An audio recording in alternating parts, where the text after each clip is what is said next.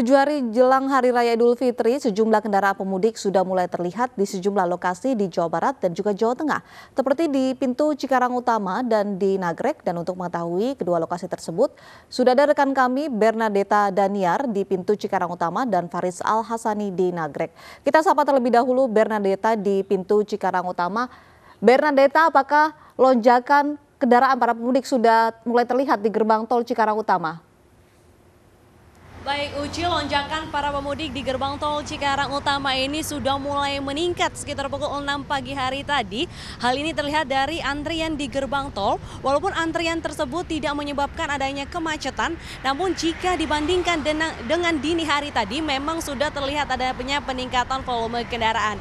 Berdasarkan pantauan kami pada dini hari tadi, memang aktivitas di gerbang tol Cikarang Utama ini masih terpantau ramai lancar dan kendaraan cenderung meningkat sekitar pukul 6 pagi hari tadi. Karena memang para pemudik ini memilih untuk melakukan mudik lebaran pada pagi hari tadi dan pada hari ini juga bertepatan dengan hari libur sehingga diprediksi untuk volume kendaraan ini akan terus meningkat hingga siang hari nanti. Dan Uci, walaupun sudah mulai terlihat adanya tanda-tanda mudik lebaran, namun pengelola tol masih mengoperasikan 14 gardu tol dan akan ditambah hingga 20 gardu tol jika nantinya memang kepadatan arus lalu lintas sudah tidak terbendung lagi atau sekitar 4 hingga 3 hari jelang lebaran. Dan saat ini memang Uci untuk aktivitas uh, kendaraan bermuatan besar ini masih terlihat di gerbang tol Cikarang Utama karena untuk larangan sendiri masih akan diberlakukan pada tanggal 21 Juni mendatang.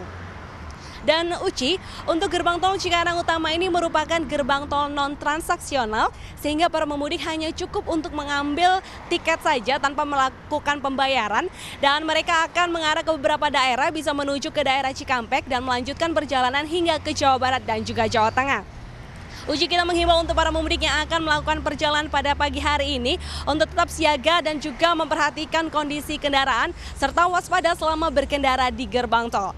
Dan uji untuk aktivitas mudik lebaran ini tidak hanya terjadi atau tidak hanya tampak di gerbang tol Cikarang Utama, juga terlihat di kawasan Nagrek, Jawa Barat. Ada rekan kami Faris yang akan melaporkan selengkapnya. Silakan Faris. Baik, terima kasih rekan Bernadetta. Untuk di kawasan Nagrek pada pagi hari ini, hasil pantauan tim liputan MNC Media tujuh hari jelang Hari Raya Idul Fitri terpantau sangat lancar. Di sebelah kanan saya adalah jalur yang digunakan oleh mereka pengguna jalan dari Jakarta, Cilenyi, Cicalengka menuju ke Garut, Tasik maupun Ciamis. Pada pantauan kami pada pagi hari ini terpantau masih sangat lancar. Begitu juga arah sebaliknya. Untuk dominasi kendaraan sendiri pada pagi hari ini sebagian besar adalah kendaraan roda 2 dan masih ada kendaraan roda 4 berplat B dari arah Jakarta tentunya. Namun dalam jumlah yang tidak banyak Sebagian besar kendaraan yang melintas di tempat saya melaporkan saat ini adalah kendaraan-kendaraan berat.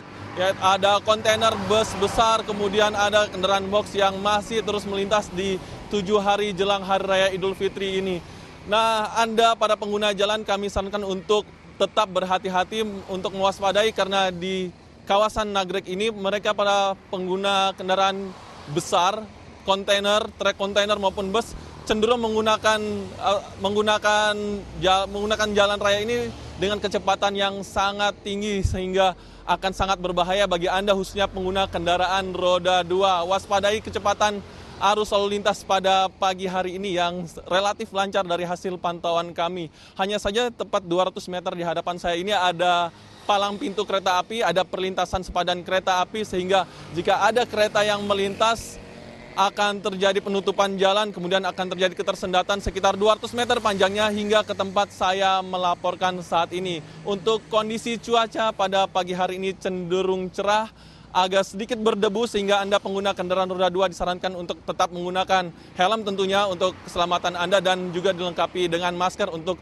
menghindari Anda untuk terpapar debu yang sangat mulai padat debu pada pagi hari ini terlihat karena hingga saat ini saya melaporkan cuaca atau pandangan pun masih terlihat berkabut oleh debu. Demikian laporan dari kawasan Lingkar Nagrek kembali ke studio Kutsia Firdausi.